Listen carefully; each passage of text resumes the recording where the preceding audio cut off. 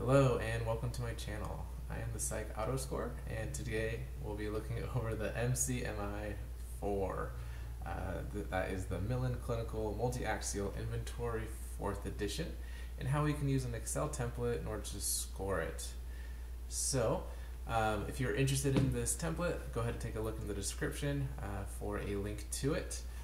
Alright, so the MCMI-4 is a personality test.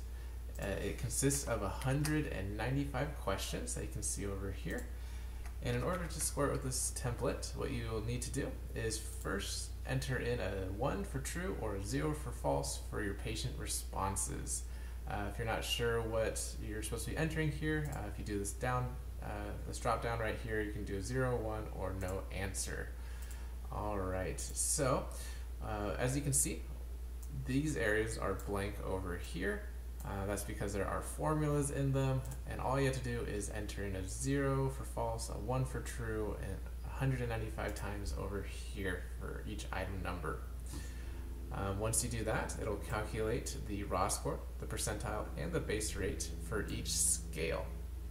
Uh, the scales are listed both by their uh, the shortened versions and by their longer versions on the right hand side.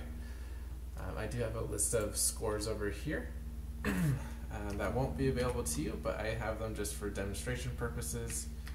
Uh, I have tested these against the uh, norms inside the uh, manuals, but what you'll do is you'll enter in the values over here, uh, and it will automatically and very quickly calculate um, all of the raw scores, percentiles, and base rates. Um, a couple of features just to pay attention to. Uh, we do have this no answer up here. This means it's counted the times that there's a blank space left over here.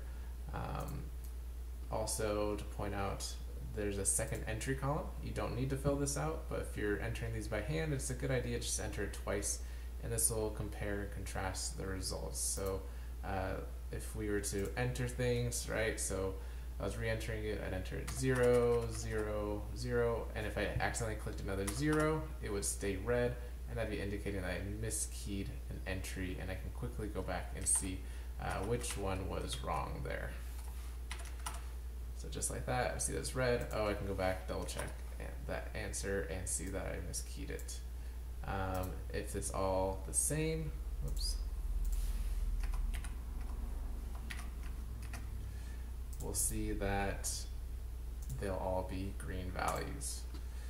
Um, additionally, once you enter in these, uh, these patient responses, then it'll give you this information. It'll also give you the validity scales as well as the noteworthy responses. I do have some conditional formatting going on in the background that'll turn red if it is seen as, um, as an invalid result if it is invalid or if my specifications aren't up for you, you can you can change the conditional values there or the conditional formatting for it. Um, there is the noteworthy responses as well. Uh, basically, it'll show you which items uh, a patient endorsed that contribute towards these different scales. Um, if you see commas, that's okay. That means they just didn't have anything that was endorsing that specific scale. Um, or you know, in this case for the patient, you can see that he did endorse one, two, three, four items that were that were uh, conducive of autism spectrum disorder. So that being said, uh, we do have scales for the personality pattern, uh, Grossman-Facet scales, the clinical syndrome scales, the validity scales, and then those noteworthy responses.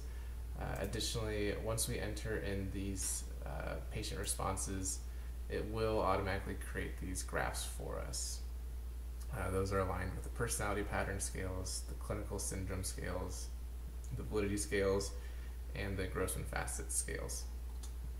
There are these horizontal um, lines here, and these are helping us to see when the um, when the the base rate goes over the uh, different thresholds. So for style, type, and disorder. Um, and we can quickly see which three this patient had the highest of. So we can see they had antisocial, uh, masochistic, and the uh, avoidant. Um, elevations in his testing. All right, well, I hope you found this very helpful. And again, if you're interested in using this product, you can go ahead and check it out in the link in the description. All right, thank you very much.